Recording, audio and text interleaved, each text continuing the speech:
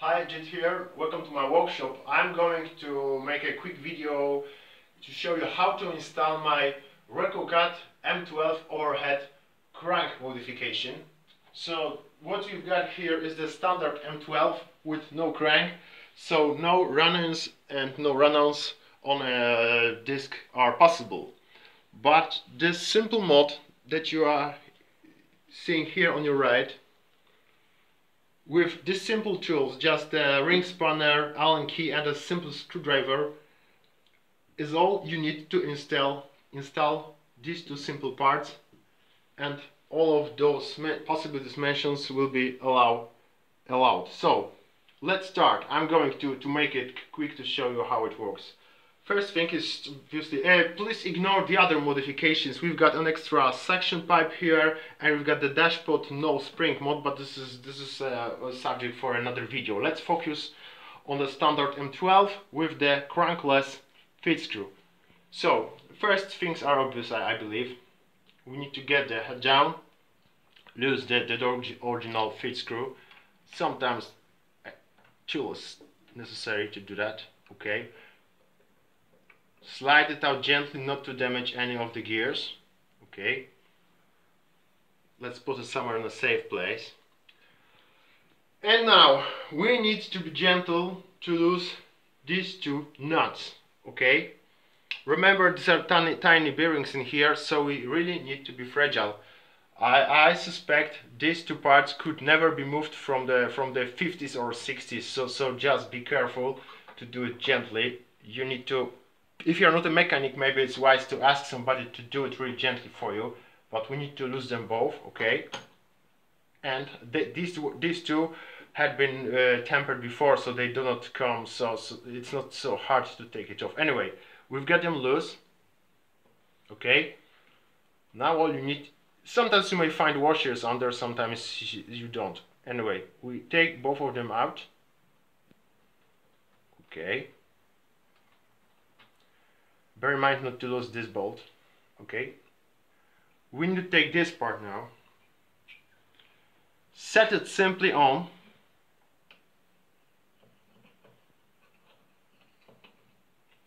Okay if, if I could ask the camera to, to, to, to shut it from this direction okay? We need to put it on everything to do really really gently.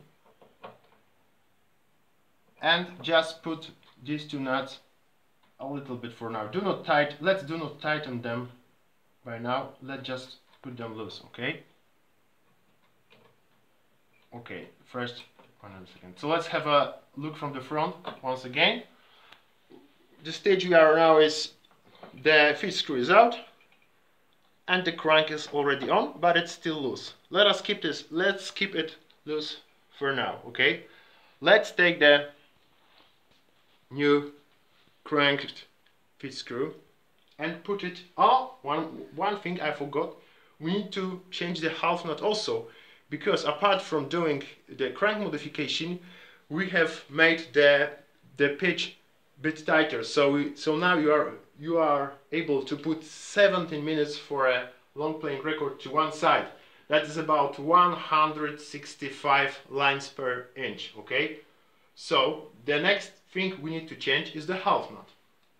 If I could please to set the camera at the back a bit, all we need to change the, the nut is the screwdriver and the half nut may drop. So it's good to protect it here in the gap under it with some cloth not to damage it, okay? Is the focus in the camera okay? Right, so I'm unscrewing the half nut now. It's a simple task, just please be gentle and do everything slowly. In your case it's easier because you have no dashpot and no counterweight on. Okay, so so we've got the original half nut here and it's going to drop. Please be gentle. Okay? And that's the new one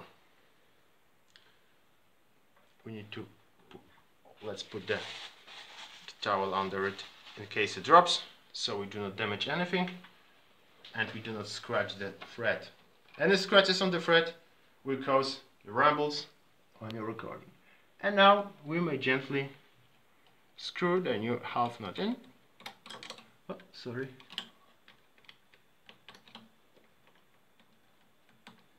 Okay, it's already in and it should play loose a bit, okay? This is how it's all designed to fit nicely into the cranks, into the screw, feed screws thread, okay. And the, the, the main step is to put the new crank, the new feed screw on and we do it exactly the same way as we would do with the old one we may pour some oil on it for first and it's very important. Okay let's put some oil on the gears. And we need actually we should do that in every single hour of our recordings. Nobody remembers usually. Okay. Be careful not to drop the oil onto the record. And now let's just put it smoothly on. And the same as with the crankless overhead crankless uh, overhead we need to tighten the the the uh, bolt but we double check if there's a, some little play. Okay. Now we may tighten the the feed screw. Okay. Not very much. We need to check it check and adjust it every couple of hours of recording time anyway. So the last thing we need to do is to tighten these two knots we were talking about in the beginning. So make sure, if I could place the camera from the from the left, so we need to make sure there's a little play between the gears, because you still may move the crank up and down a bit, and with and when you have found there is a bit of the play, we may tighten them. We may tighten the the nuts. Okay. First one. The, the, the play is still there, okay. That's good. Okay. So the last thing to do is to double check if the whole system still runs smoothly. We may lift the, lift the head up for safety now and just double check if it all works fine so it does okay double check if we did put some oil on it. I'm waiting for the for the torque to bolt set okay. And this is all we've got. This is how the crank works here.